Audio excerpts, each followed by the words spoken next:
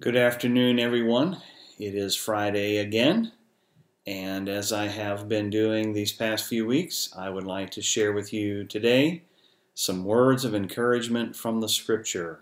And uh, since I read in my devotions yesterday uh, from Psalm 46, I thought that I would share that passage of Scripture with you today. One of my very favorite passages of Scripture.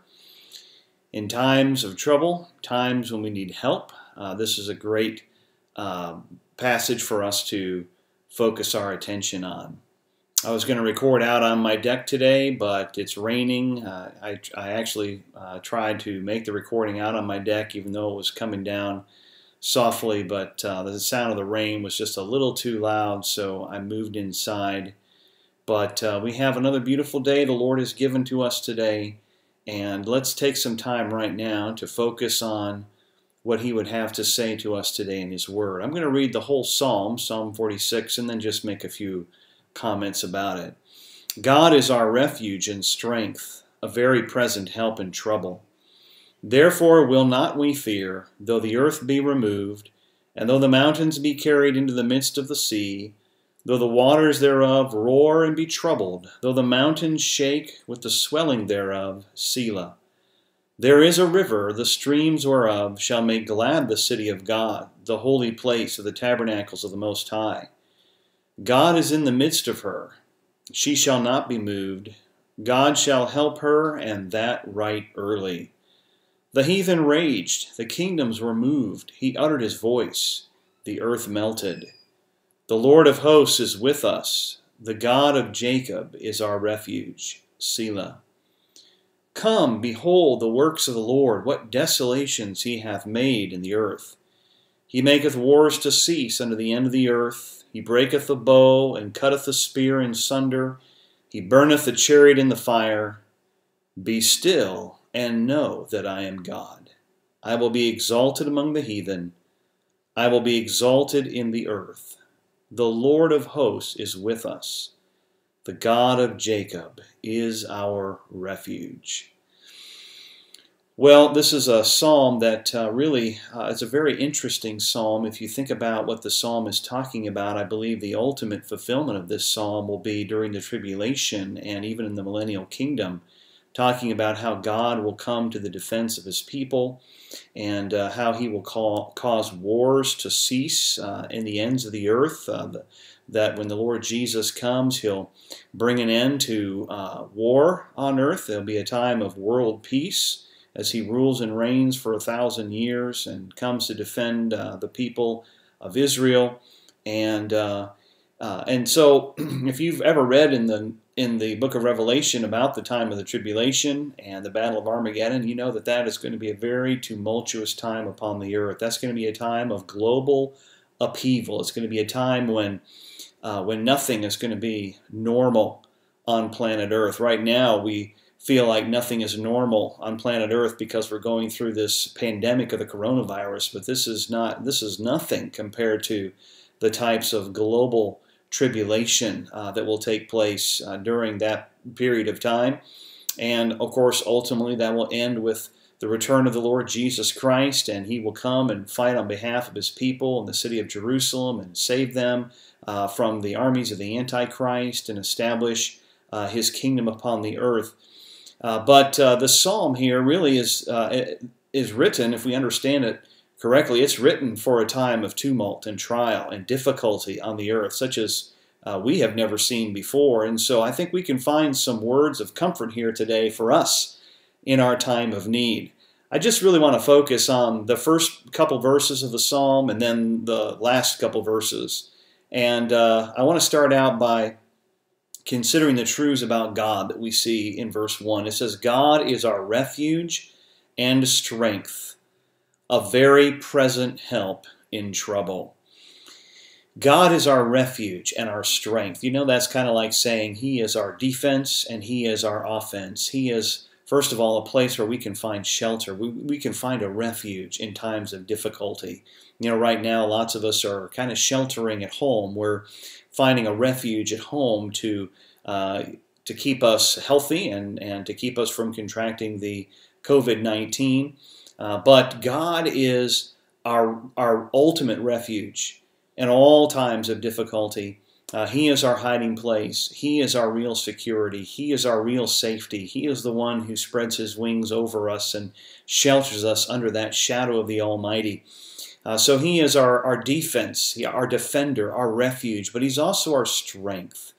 He is the one that gives us power. It gives us strength, gives us the ability to do what it is that He wants us to do. When we're feeling like we're running on fumes, when we don't have what we need in the tank, when we feel like we are not sufficient for uh, the challenges that lie before us, then uh, He is our helper then too. He is our strengthener. He gives us what we need to move ahead for God and to do His will.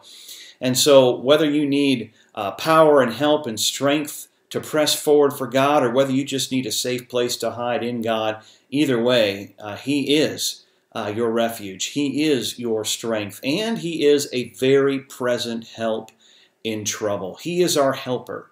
And really, that word help, I think, would summarize this whole psalm. This, all, this whole psalm is talking about how God is the helper of his people, how we can count on him, how we can trust in him to defend us and to strengthen us and to deliver us and to protect us. And so he is our help.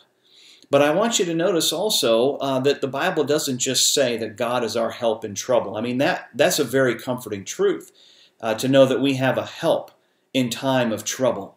And yet, God even goes beyond that, and He, he tells us that He is a present help in trouble. That means that He is close at hand, uh, He is not far away. You know, there might be times where we need somebody to help us, and so we try to call and we just get their voicemail. Or maybe uh, we can't get a good connection because their cell phone signal is breaking up. But God is never uh, that uh, kind of a help to us, okay? He is always near at hand. And you know what, believer? It doesn't really matter whether you can see Him close by or not the fact of the matter, He is. He is right there near you. He said He's never going to leave you or forsake you. Uh, so He is not just your help, but He is your present help. He is your abiding help, your close, closely abiding help in trouble. But then one more word uh, in this first verse. Uh, not only is God our present help, and that would be a wonderful encouragement just in and of itself, uh, but He is also our very present help. And you know what that word very adds to the statement? It means that he is our mega helper, okay? Uh, he has the help and the power and the strength far beyond anything that we could possibly imagine. Aren't you glad that God isn't just a little bit of help in trouble? Aren't you glad that he doesn't just offer us a, a, a rationed a portion of help when we need him? No, uh, he has help for us that goes far above and beyond our need. And so let's let's be uh, comforted in those truths about God. Okay, that He is our refuge, our strength, and our very present help in trouble. And because that's who God is, what should we do? Well, uh, first of all, uh, we should not fear. Because of that, verse 2 says, Therefore, because all of that is true about God, about our God. We will not fear. We're going to make a choice not to fear.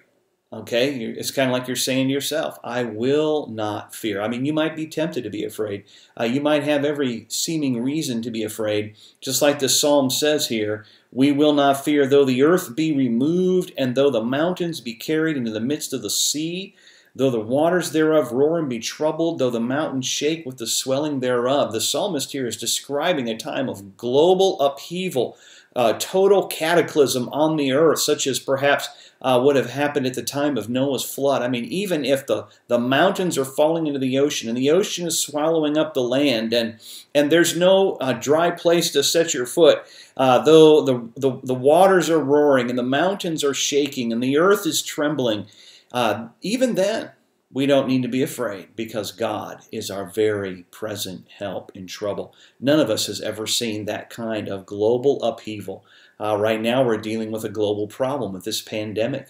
Uh, it's really worldwide, and and uh, you know what? Uh, it's out of our control, isn't it? Uh, we do not control these issues on a global scale, but we can be thankful that even though the whole world may seem messed up, God is our very present help in trouble. and therefore we don't need to fear. Believer, you don't need to fear. You can tell yourself, I will not fear because I know who my God is. I know what He's promised to me, and I know He's right here by me. And I know that He is my helper, and He's never off duty. He's never on vacation. Uh, he's never uh, far away. I can always count on His very present help. So I should not fear. But then I want to go down to the end of the psalm uh, another thing that we should do, given these truths about God, is verse 10 says, We should be still. Be still and know that I am God. Now, what does it mean to be still? You know, I think that means that, first of all, we're, we're drawing closer to God, okay? Uh, we're being still before Him. It means we're not just scurrying about, uh, doing our thing as if He's not there, as if we don't have a helper in trouble. We're not relying upon ourselves, but rather we are quieting ourselves before the God of heaven and earth. To be still, I think, means not that we're not praying, uh, but I think sometimes uh, we have an awful lot to say to God. Uh, and, and, and when we pray, we're, we're sharing with Him all the things that we want Him to know. And yet sometimes He wants to say some things to us. He wants us to be still. He wants us to just meditate in who He is so that He can calm our fears and He can quiet our souls. He wants us to be calm and quiet before Him. Uh, there's there's another psalm that talks about how I'm going to behave myself like a weaned child before the Lord. In other words, I'm not going to scry, uh, cry and scream, demanding that God does something for me right now, but rather I'm just going to patiently wait upon Him to help me in His way and His time. And in the meantime, I'm going to wait upon Him and I'm going to be still. So that's another thing that we should do. First of all, not fear. We should not fear. Secondly, we should be still. And third, we should know that He is God. Know that He is God. In that stillness, in that quiet place, draw near to God. Believer, when you're going through trials and difficulties and you're tempted to be afraid, that's not a time to spend less time with God. That's a time to spend more time with God and to draw near to Him and to allow Him to reveal Himself to you from His Word, just like we've been looking at it today from Psalm 46, where God reveals to us these awesome truths about His help in trouble, and that we can count on Him. And that even when all the world is going through all the upheavals of the tribulation, and even when all the armies of the Antichrist are surrounding the city of Jerusalem, even then God will help his people and so we can count on him to help us in the meantime, in the things that we're going through right now. So know that he is God. Know your God better than ever before. Know him, know who he is, know what he has promised to you, and in that revelation of himself, be still. Quiet yourself before the Lord, because twice in this psalm he encourages us and I want to just end with this. Verse 11 The Lord of hosts is with us. The God of Jacob is our refuge. Believer, God is with you. He is your refuge in a time of trouble. And so I want to encourage you today, as we have learned from Psalm 46, know who your God is, that He is your refuge and your strength, your very present help in trouble. And on that basis, decide, I will not fear. Rather, I'm going to be still and know that He is God. God bless you. We'll look forward to seeing you Sunday morning at 1045 at church. And until then, you have a wonderful weekend. I'm praying for all of our church family. Want you to know I love you all. And we'll see you again soon.